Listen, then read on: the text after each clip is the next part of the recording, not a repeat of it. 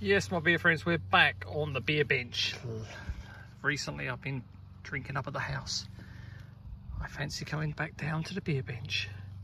I might move the beer bench nearer the house. But for now, I'm sitting on the bench in uh, roasting Florida heat, 95 in the shade.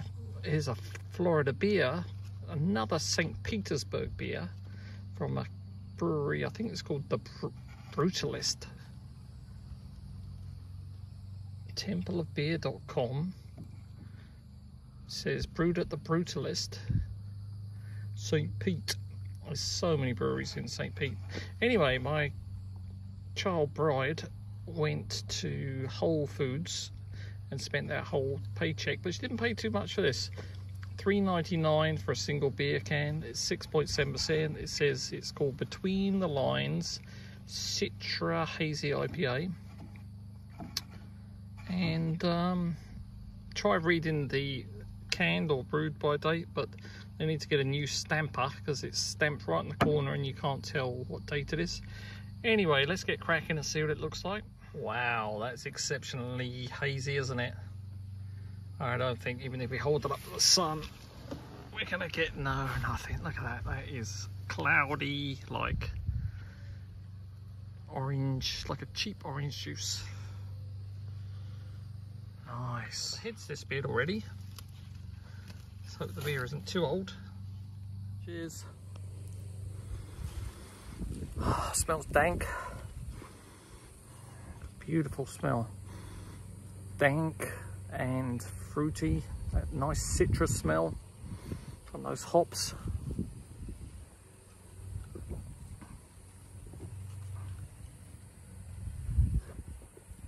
Mmm, it's delicious. Very nice. I had a different brewery the other day, another St. Pete beer, and it was pretty crumb crummy. And I said stick with the older breweries, but this one, I I'm gonna have to check that the ah, bananas kissing me. Ah, this is very nice, creamy. Not very dry. Tiny, tiny bit of tiny bit of pininess in there. It's like more like a grapefruity IPA.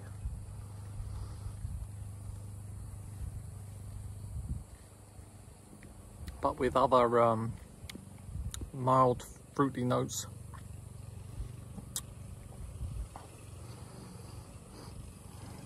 Mm, smells good, tastes good. Decent alcohol level 2 wasn't it? 7.7 let's see if we add the extra bit of the bottom of the can what happens. Well it's got really murky now isn't it?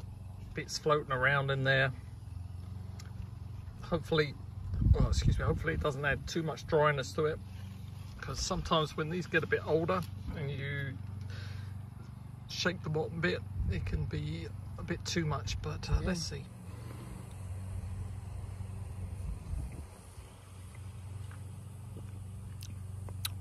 No, it's delicious.